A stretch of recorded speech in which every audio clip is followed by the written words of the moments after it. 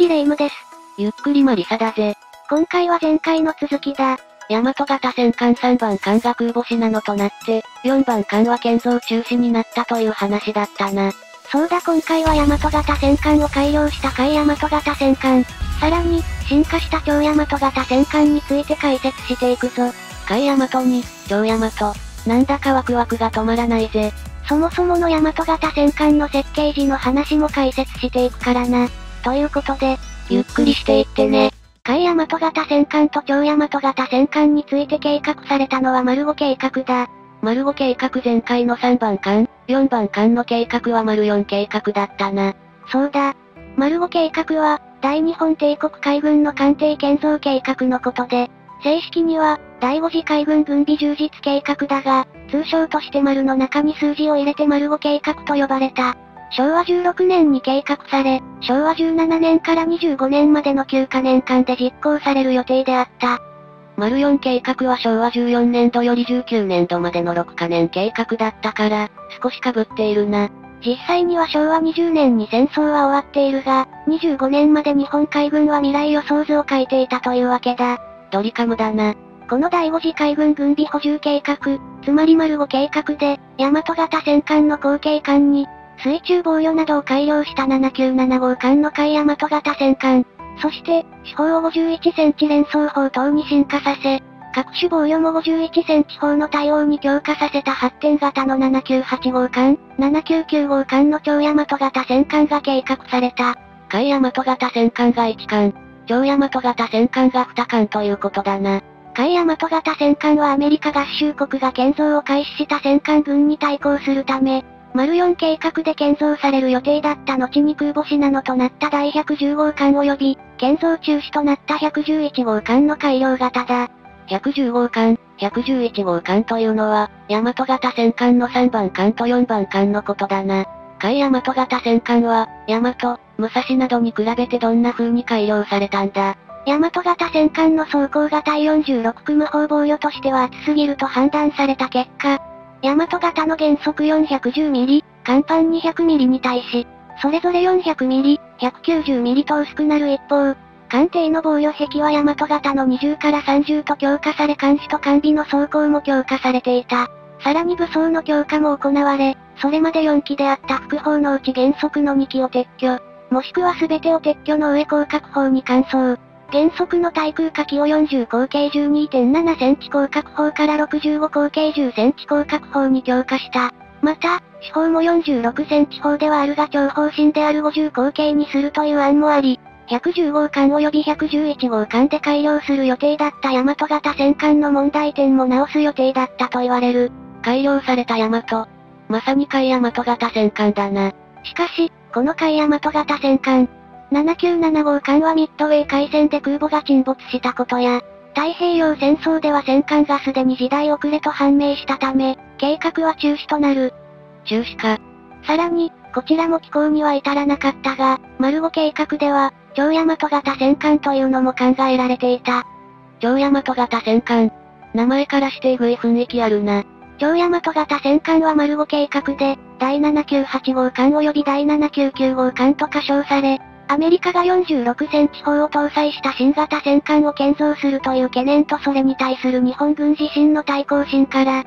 それらを打ち破るためにさらなる大口径砲として51センチ砲を搭載することが計画された。51センチ砲。大和が46センチ砲だったけど、それより5センチもでかいんだな。なおアメリカ海軍においてはアイオワ級戦艦やモンタナ級戦艦でも実現しなかったものの、47口径18インチ、つまり45.7センチ砲を搭載する計画があり、砲自体も実際に試作され、完成に至っている。なるほど、それに対抗しようと、より大きな51センチ砲を作ろうとしたんだな。超大和型戦艦の艦型は計画時の時間の都合で完全な新規設計にはならず、前型の大和型戦艦の強化発展型であると伝えられている。そして、最も大型の案では、基準排水量8万5000トン、51センチ砲3連装3機または連装4機、速力30ノットというものであった。8万5000トンで、51センチ砲3連装。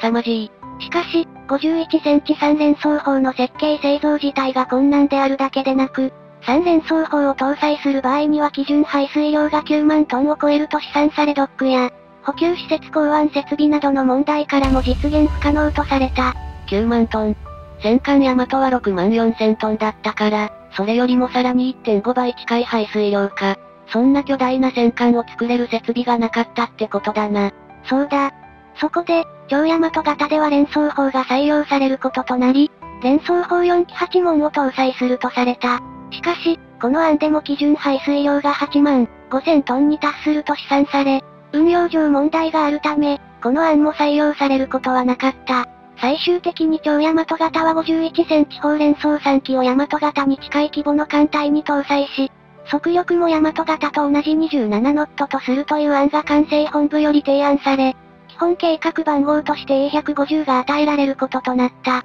計画番号まで付与されたってことは建造も現実的だったんだな。当時、建造が開始された大和型戦艦3番艦と4番艦と共に建造するため、大分県の現在の肘町付近にあった大神村に交渉を新設。そこに新ドックを建造し、第798号艦は呉交渉で第4番艦の完成が終わった後で、第799号艦は大分県の新ドックでの建造がされることとなっていたという。超大和型戦艦2艦はそこまで具体的な建造計画が立っていたんだな。四方の超巨大51センチ砲はどこまで開発が進められたんだ？超大和型戦艦の四方51センチ砲は、市成功砲という名称で開発が進められており、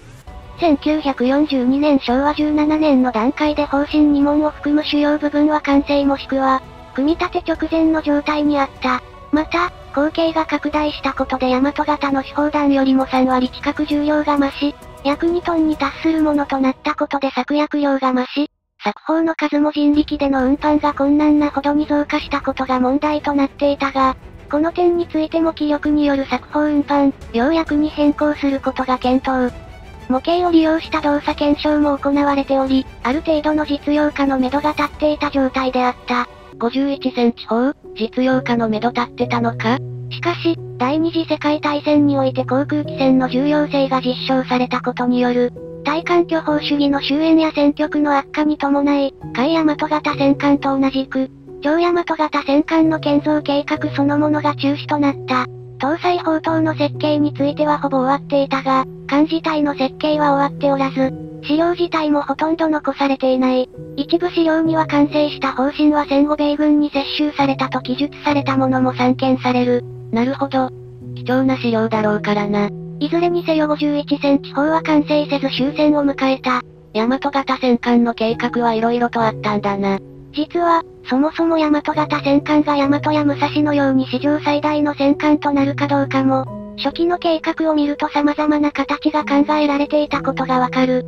なるほど、元々の大和型戦艦の計画も興味あるな。1934年昭和9年頃から、日本海軍では新型戦艦に関する検討が始まっている。この時点では、最上型軽巡洋艦を手掛けた藤本菊夫と、江崎岩吉という二人の造船艦が艦艇の設計を進めていた。藤本が考案した戦艦計画案には、基準排水量5万トン、50センチ砲12門、30ノット、時速約55.6キロというものもある。ただ、このプランは実在の大和型よりも1万4000トンも少ない船体に、大和型よりもずっと重武装を搭載し、より高速で構想させようというもので、現実的とは言えない内容だった。同時期に江崎が提出した新型戦艦案は、基準排水量6万7000トンで、46センチ3連装砲搭載機9門は前甲板に集中配置するプランだった。この計画案の特筆すべきポイントは速力。